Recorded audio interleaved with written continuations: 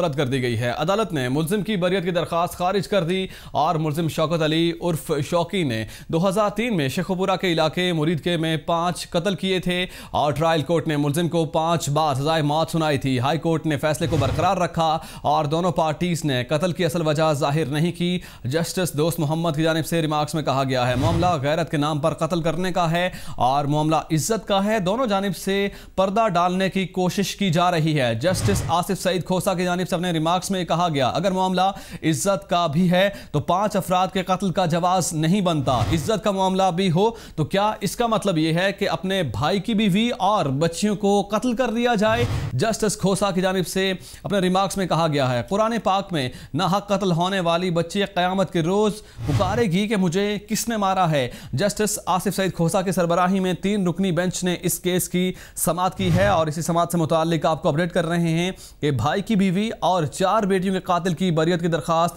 مسترد کر دی گئی ہے۔ عدالت نے ملزم کی بریت کی درخواست خارج کر دی ہے۔ ملزم شوکت علی عرف شوقی نے دو ہزار تین میں شیخوپورہ کے علاقے مرید کے میں پانچ قتل کیے تھے اور ٹرائل کورٹ نے ملزم کو پانچ بار سزائے موت سنائی تھی، جبکہ ہائی کورٹ نے فیصلے کو برقرار رکھا اور دونوں پارٹیوں نے قتل کی اصل وجہ ظاہر نہیں کی ہے اور یہ معاملہ غیرت کے نام پر قتل کرنے کا ہے۔ جسٹس آصف سعید کھوسا کی جانب سے کہا گیا، معاملہ عزت کا ہے۔ دونوں جانب سے پردہ ڈالنے کی کوشش کی جا رہی ہے۔ اگر معاملہ عزت کا بھی ہو تو پانچ افراد کے قتل کا جواز نہیں بنتا۔